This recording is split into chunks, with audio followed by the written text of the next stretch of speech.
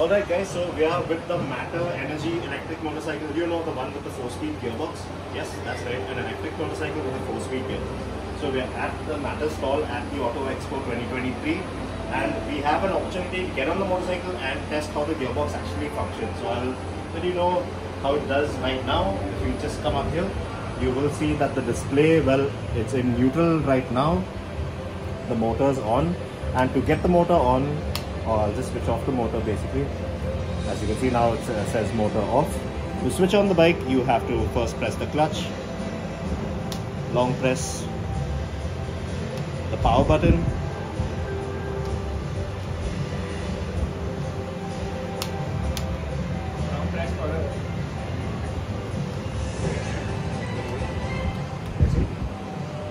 Yep, a little glitch in the front works there, but yes, it's finally on.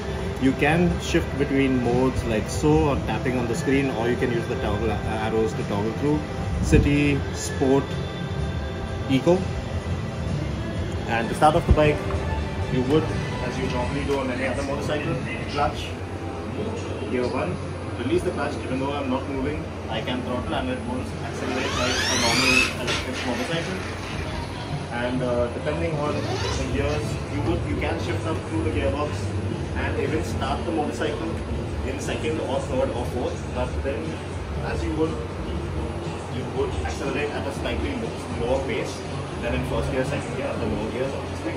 So yep, that's pretty much how the gearbox works. You don't need to press the bike, you don't need to press the clutch every time you come to a halt. That's the beauty of it. And uh, yeah, that's the basic functionality of the gearbox on the Matter Energy motorcycle.